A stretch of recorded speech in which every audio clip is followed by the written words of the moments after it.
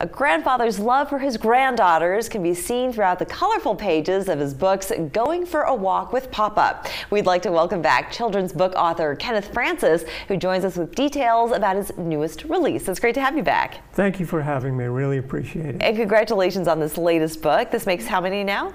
This is the fourth book. The fourth book. Right. And you just you woke up one day and you had the inspiration to write children's books because of your granddaughters. Uh, tell us, uh, remind us what that well, experience again, was like. The most important thing to me is family and uh, being around the granddaughters in particular.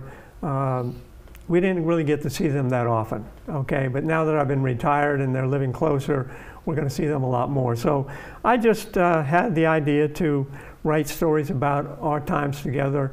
And I think it's very important for all families, uh, the children, the parents, the grandparents, and great grandparents, to do whatever they can together, reading books and or going on walks and doing different things. So this is basically what uh, the stories are about, and I'm, I'm hoping that the you know, the people who read them will enjoy them. Yes, and they certainly do. So this is really a love letter to your granddaughters, but it's going to have an educational twist in the future. You're still writing new books. You're actually coming out with two more pretty soon. Yes, uh, the two that I'm working on right now that it'll take probably another year to uh, finish them all, but it's uh, the pool story and the uh, beach story. So and I think it's important, you know, just to do things together like that. Yeah. Now, the other ones that I've written that I'll be working on in the future will be more educational. Mm -hmm. And what I mean by that is that uh, they're about colors, they're about letters, uh, they're about um, days in the week, um, hours in a day, months in a year, things like that. So if you sit down with your child or if you're reading a book, they can learn things at the same time about the different months of the year as an example, or uh, hours in a day. Yeah, it's so. invaluable, invaluable stuff for, for yeah. kids to learn. Uh, tell people about your previous life. You were not always a children's book author. No, I had worked for a major insurance company uh, for over 40 years and just retired uh, about six years ago and celebrated on the 31st my 50th uh, anniversary. Yes. Uh, and you know, I miss the people that I work with, obviously, and uh, I just posted something on LinkedIn where I still coordinate with a lot of the business people, yes. and I've gotten a really good response on it. So yeah. I thank everybody for remembering me yeah. from that standpoint. After 40 plus years, I should certainly hope so. Otherwise, you got a pretty short memory.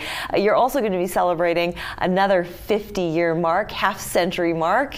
Yes, uh, my wife Diane and I will be married in November for 50 years, and we'll be at the same time celebrating her birthday. And you got married on her birthday. On her birthday, yes. That's a wonderful double whammy of a celebration.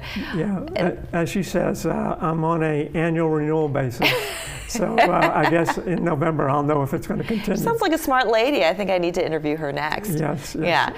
Uh, but 50 years. So you, when you say that you are a family man, you really truly are. Family is extremely important to you. After 50 years, it certainly demonstrates that. Of course, to Diane's credit, yes, she is too. Definitely, definitely. So what's the secret to your success?